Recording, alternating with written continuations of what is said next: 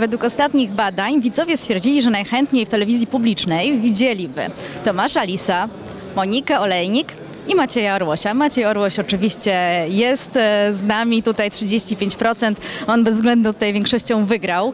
E, czy widziałby pan Monikę Olejnik w TVP? Bo w TVP1 wiemy już, że pan Jan Pawlicki by nie widział. A czy pan może w jakiejś innej stacji Monikę Olejnik by widział w TVP? Monika Olejnik już była w, w TVP1. Yy, Nie wiem jak to wspomina. Ma swój program w, w innych stacjach i, i, i radiowych i telewizyjnych. W związku z czym no, yy, nie mi tutaj składać tego rodzaju deklaracje. No nie ma tematu, bo spełnia się yy, gdzie indziej. Natomiast to, że Maciej Orłoś wygrywa mnie nie dziwi. Znakomity dziennikarz i nasze wielkie dobro narodowe. Myślę, że będzie prowadził jak najdłużej tylko może i Teleekspres i wielkie testy.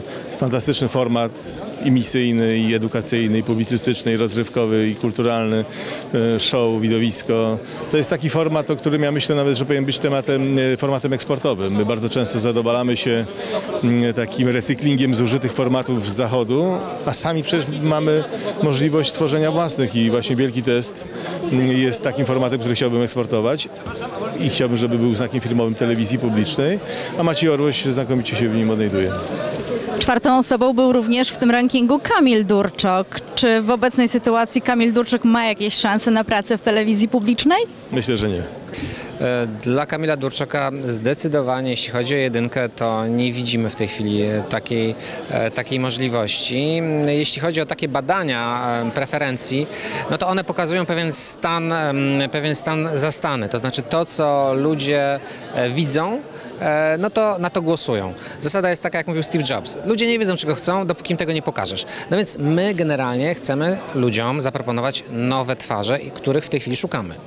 I nie sztuką jest wziąć em, twarze, które są sprawdzone i które mają, wzbudzają gorące emocje i które w takich e, sondażach, e, na które pani wskazuje, rzeczywiście e, są wysoko notowane, bo ludzie po prostu kojarzą te nazwiska, kojarzą te twarze. My chcemy wykreować nowe twarze.